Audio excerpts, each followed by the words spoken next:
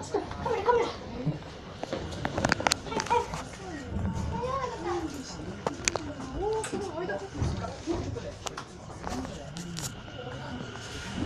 しじゃあ後ろ出ろたまにその止まりはあ止ま止まああああ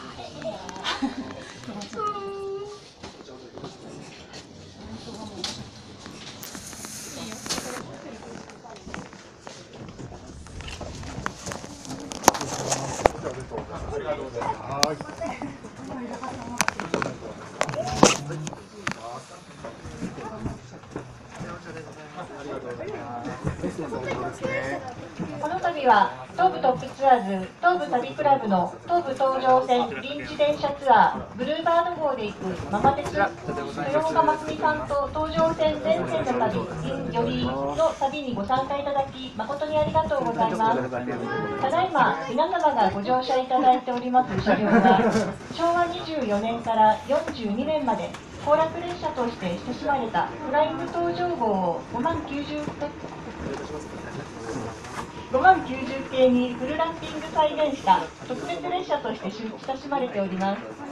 昭和20年代初頭全国的な行楽ブームが高まる中で都心から程近い場所に数多くのハイキングコースや釣り場などの景勝地がある東上線の沿線および終点の寄居から先の秩父鉄道沿線の長瀞秩父一帯は行楽客やハイキング客の格好の的となりました。フライング東上号はそうした行楽客の需要を満たすために企画された列車です。なおフライング東上号というネーミングはイギリスの特急列車フライングスコッツマン号にあやかったものだと言われています。またその塗装から臨時特急ブルーバード号にも使用されていました。この臨時特急ブルーバード号ですが今となっては信じられないコースを走っていた記録も残っています。1951年8月14日と16日に川越始発野田線船橋行き海水行き特急です。当時川越から大宮間の国鉄川越線は非電化でこの区間はパンタグラフを下ろして蒸気機関車が牽引するという大胆なコースと方法でした。同年の10月2日と9日には武蔵蘭山発東武日光行き夜行特急としても運転しており川越線内は蒸気機関車が牽引大宮から春日部間は野田線担当運転士が添乗乗務春日部で新栃木電車部の運転士に交代するという運用でした。この東武日光行きブルーバード号が好評だったため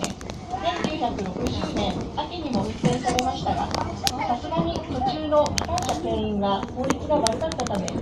寄居から羽生間を秩父鉄道で連絡するという形式で運転されています。このルートは電車整備などで森林公園から南栗橋までの運行として今でも利用されています。本ツアーはそのブルーバード号名称で5万92編成にご乗車いただき東上線の池袋駅から寄居駅まで途中の電流線も走行全線走破となります。そしてママ鉄鉄道文化人としてご活躍東武東上線沿線で生まれ育った豊岡真澄さんがアテンダントをいたします。さらに豊岡さんを6年かけて鉄の道に引き込んだ株式会社ホリプロのマネージャー南田祐介さんも同乗楽しいイベントツアーになると思いますでは本日の流れをご案内いたします。ブルーバード号はこれから寄居駅に向かいます。これから1号車より豊岡真澄さんが車内検発をいたします。受付の際にお渡しした記念乗車証をお手元にご用意ください。多くのお客様がご乗車いただいておりますのでスムーズな検索にご協力いただきますようよろしくお願いいたします。合わせてお弁当もお配りいたします。トークショー会場ではご飲食ができませんので恐れ入りますがお弁当は車内でお召し上がりください。続いて東武商事スタッフが東武鉄道グッズなどの車内販売を行います。販売する商品は人気のピートレイン5万90系フライング東上号カラーを特別価格でご提供いたします。購入特典としてご乗車のブルーバード号ヘッドマークシールもプレゼントいたします。また1月の18日に正式なリリースがありました。4月21日のダイヤ改正から運行の新型特急リバティ8月10日より営業運転開始の SL 体重グッズも販売いたします。ぜひこの機会にお買い求めください。なお本日の持ち込み数には限りがございますので売り切れの際はご用意ご容赦ください、えー途中の森林公園駅にてトイレ休憩がございます。到着時刻は11時10分となります。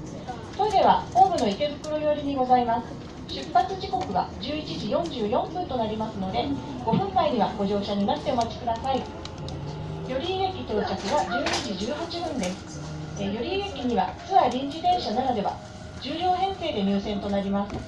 ホームでもブルーバード号の撮影が可能です。譲り合っていただき安全な撮影にご協力ください。それでは皆様お待たせいたしました。これより南田裕介さんゆ南田裕介さんのマイクパフォーマンスとなります。今日はどんなお話が聞けるでしょうか。それでは南田さんよろしくお願い